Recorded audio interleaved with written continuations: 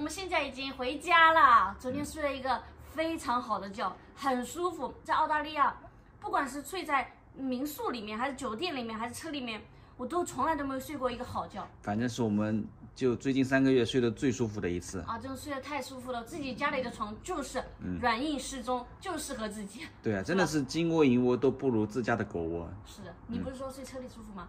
那还是家里的床舒服一点。回这里去睡。好了，现在开始理东西啊，三个大箱子，有点头疼，不知道从哪里开始理起。要该洗的衣服先扔出来，嗯我去拿个衣服筐给你。我就是在这里，洗衣机就在这里。啊，行，那你先弄。首先跟大家说一个好消息，就是我没有胖。早上起来第一件事我就称体重，出发的时候差不多的，嗯，但是比结婚那会儿。嗯，结婚婚礼的那会儿要稍微胖一点点，四舍五入就等于没有胖。果然出去玩就不会胖的。你看我们没事就吃麦当劳、肯德基，因为实在没东西吃呀。然后经常吃夜宵，我记得。对呀、但是因为可能在外面旅行的时候，我们一直在走动嘛，平均每天可能得走个五六公里吧，一个人。红酒放在行李箱里面的，我用我的衣服包住的，嗯，完好无损。从澳洲回国，好像每个人可以带两瓶红酒，我们只带了两瓶。本来想买的，但是我买衣服啊、买包的时间花了太多时间了，来不及去买红酒的。这个是朋友送我们的，嗯，在墨尔本的时候。还有蜂蜜啊、维生素啊，这些我都放在一个箱子里面的。嗯，有一些要是呃我婆婆已经拿走了，最后一两天我不在悉尼买东西啊、逛街啊什么的，就买两个包，一个是棕色的，一个黑色的。呃，黑色的给我婆婆了，这个是给我妈的。其实这个真的蛮好的，嗯，这个又便宜，它原价有两千多人民币的呢，嗯，我们打折下来很便宜，很划算。我看到它走线、做工还有邮边啊，都做的挺好的。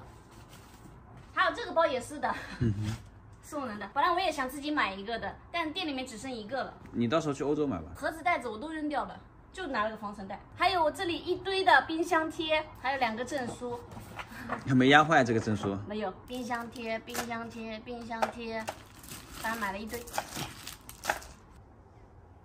呃，还有一条羽绒服，这个是我买给我自己的。我先把它打开了，刚开始的时候他帮我压缩了一下，线头，大线头。等下帮我拿走吧，等下饼干把你挠坏。脏的衣服，脏的衣服，脏的衣服，脏的衣服。口袋有没有东西？这里衣服基本上都脏了，干净的也脏了，要重新全部都洗掉。哎，我不理东西的时候，哎，饼干就在那里睡觉，一搂东西好像有他什么事一样。他看看有没有给他带礼物啊？你猜这个是什么？什么？你猜一下。呀，这个米都带回来了，笑死我了可以用的呀，这个。啊！我以为不可能浪费，，我以为那个不能带。因为我们行李箱每人两件是二十三公斤的，就行李额不用也白不用嘛啊，这些都没用过。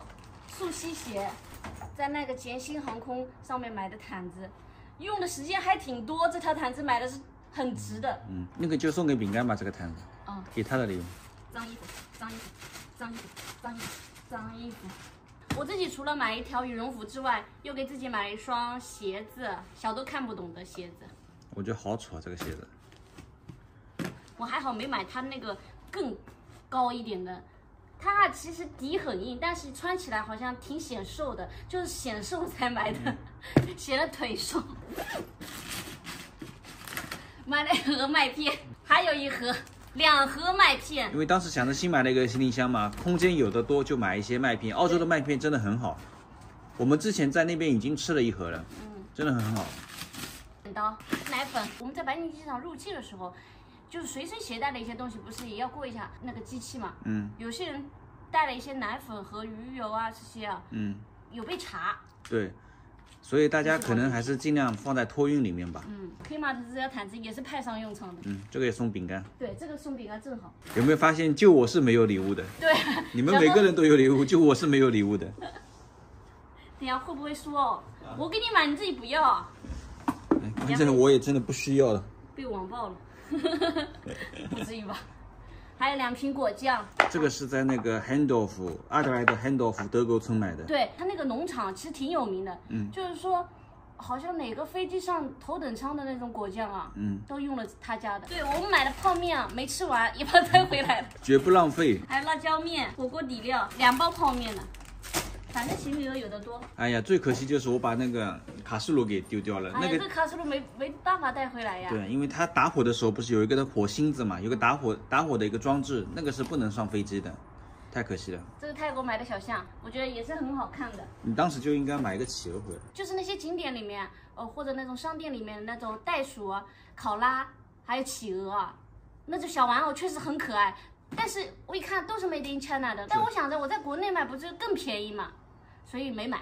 我 买了这个饭盒子，也把它都把它带回来了。更绝的是纸巾啊，没用完，那个盒子实在是太大了，所以盒子把它扔了。还有这个小包包，印尼买的。好了，我他明明泰国买的，啊。明明泰国清迈买的。哦，对对对，对，还忘记了这个呢，在印尼买的猫屎咖啡呀、猫屎咖啡，我被咬的咖啡。还好你没发病，那么他潜伏期十几年了。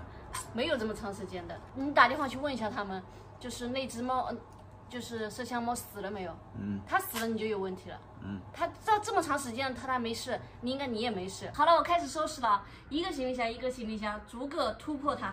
上面这些就是我们去以往各个国家旅行带回来的，都很有意义，我觉得。虽然说嗯有些不是很好看啊，嗯。我们是尽量已经挑好看的买。哦，这是一个真的马蹄，这个是在那个。淘金镇买的。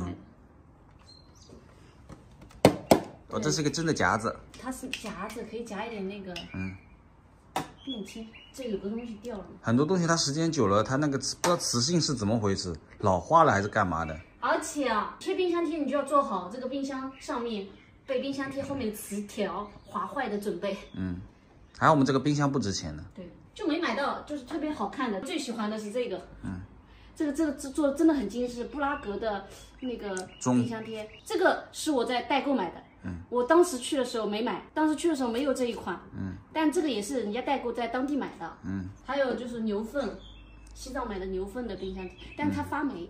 我们这边实在太潮了。啊、有什么呢？这个你知道在哪里吗？哥本哈根对，我记得是一个盐矿的，底下一百多米的一个盐矿，是我们在波兰的一个盐矿买的。但是它因为我们这边潮啊，那个盐融化了，嗯，就没。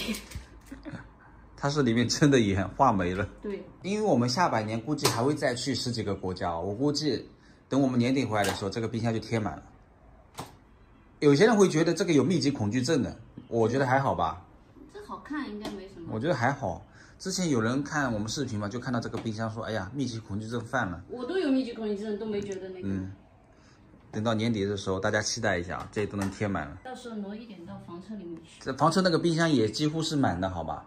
我觉得啊旅行的时候你什么都可以不买，冰箱贴你一个带一点回来。嗯，就虽然说有一些国内能买到，嗯，但是感觉不一样，因为冰箱贴本身这种小东西，便宜的东西，就是比如说这个冰箱贴你是在哪里买的啊？嗯，当时想一下，那就能勾起当时那段回忆，旅游的回忆。有时候就是一个国家不止买一个，你看像在比如说澳洲好了，你考拉要买吧，你那个悉尼歌剧要买吧，然后你那个那个企鹅可能也会买一下吧。就是其实一个国家能买好几个，这个我忘了，这个是哪里的？